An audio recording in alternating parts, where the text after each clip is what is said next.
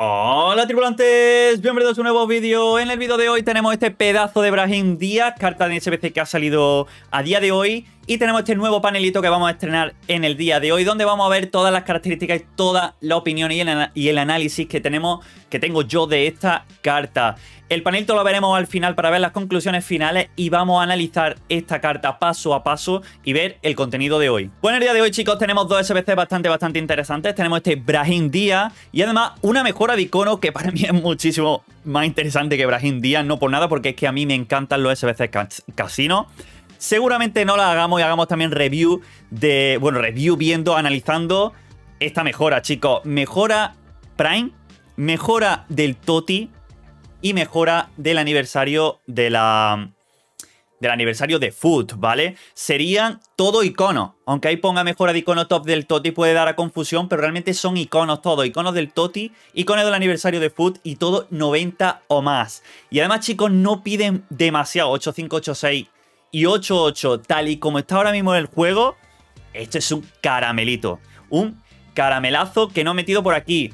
Pero bueno, en este vídeo lo más interesante que vamos a ver será este Brahim Díaz, perdón, donde tenemos un jugador chiquito, donde tiene 4 de filigrana, 5 de pierna bala, que está muy muy bien. Lógicamente con 5 de filigrana sería top. Pero chicos, recordad que esta carta es mejorable, es una carta dinámica y que si ganara la final le pondrían esas 5 de filigrana. Así que vamos todos con el Milan, porque tendremos aquí una carta que la verdad que es bastante interesante. Tiene sus cositas, pero vamos, antes de ver lo negativo, vamos a ver lo positivo. Jugador chiquito, jugador ratonero, que parte como MCO. De hecho, yo esta carta la pondría solo de MCO. Ya que en posición alternativa tiene interior derecho y extremo, pero tiene carencia en esas posiciones. Ahora, de MCO, chicos, 4 de filigrana le vienen perfecto.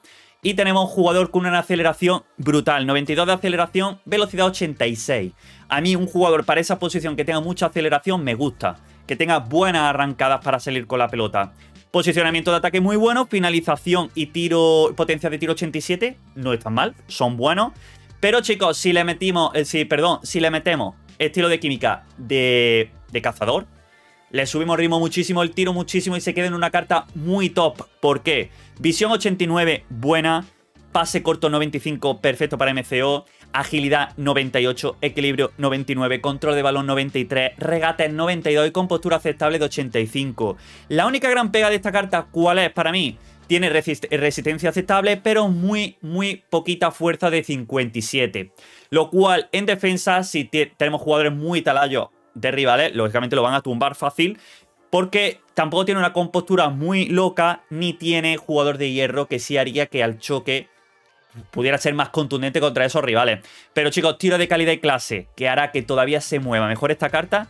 Jugador chico, con clase y con los regates como tiene y la agilidad, se va a mover de loco. Yo esta carta te la veo también obligatorio, sobre todo porque una media 89 y ahora vamos a ver que es una media 89 muy económica, que es dinámica, una carta que puede mejorar y va a mejorar si el Milan pasa. Tiene muchas opciones de pasar el Milan. Lo veo con mucho potencial y chicos, el SBC es muy, muy económico.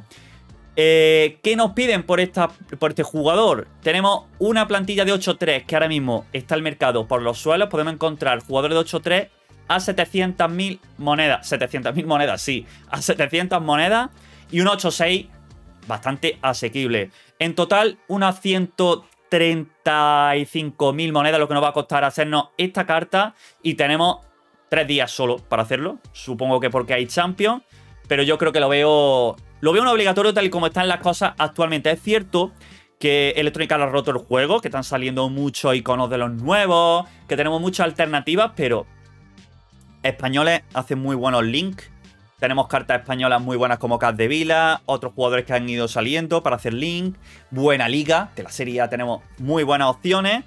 Y, nada, chicos, yo lo veo una muy, muy buena carta para farmeársela tranquilamente y lo veo un poco obligatorio. Bueno chicos, por menos de 20.000 monedas, la solución más barata para la plantilla 83, tenemos esta solución de aquí. Unai Simón, Zapata, Fernando, Sels, Makisimov, tenemos Pau Torres, Underbay desde 85, Coque, Consigli, Asensio y Hogbel. Con esto completaríamos la plantilla de 83 más barata para este Brahim Díaz. Y para la plantilla de 86, la plantilla más cara, que tampoco es demasiado caro, por unas 120.000 monedas tenemos esta solución barata de aquí. Tenemos a Rice de 84, Ceco, Pedro González, Honorat de 86, Elif, Buno, Carlslon de 87, eh, Fabiño, Oyarzábal, Hummels, Koulibaly y Mason Mount. Bueno chicos, conclusiones finales para este Brahim Díaz de 89. Yo lo veo una carta obligatoria más que nada porque tiene margen de mejora. Ya sabéis que las cartas dinámicas molan mucho y no se sabe, pero puede que llegue el Milan este año históricamente a ganar esa final. Puede que pase de ronda y mejore todavía. Y una carta muy buena con mucha movilidad que por el precio que tiene yo creo que, es un obligatorio. Pero que ha añadido esta carta, regate y agilidad top, 4 de skill, 5 de pierna mala. Si fueran 5 de skill sería todavía mejor, pero con 4 de skill para un MCO va muy bien también. Buena pegada con ambas piernas, tiro de calidad, tiene eh, muy buena arrancada con esa buena aceleración de inicio, tiene desafío barato y carta que aún puede mejorar. Esos serían los pros principales de esta carta. Las contras, poca fuerza físico, compostura buena pero limitada, de 85, no es mala compostura, pero si tuviera una compostura mejor sería más fuerte al choque y malos centros por posiciones en la banda, ya que tiene solo de 76 de centro, lo cual lo limita mucho para ponerlo en la banda como extremo para centrar. El estilo de química, lógicamente, le pondríamos estilo de química de cazador y ahí tenéis mi meta ah, actual, que sería mi nota final, que yo le pongo, sería un 9,1 que está muy bien, el calidad-precio es muy top, 9,5 no sería perfecto, perfecto sería que nos pusieran una plantilla de 83, lógicamente. Pero 9,1 una nota muy buena, con mucho margen de mejora. Y cartas similares, bueno, en número es casi muy parecido a Neymar, incluso mejor en número de agilidad y equilibrio que Neymar. Lo que pasa es que Neymar ya sabéis que tiene esas 5 de skill. Gubu, yo lo veo mejor carta que Gubu. Y Abedi también es mejor carta eh, Abedi Pelé, la nueva, la de héroe de Foot.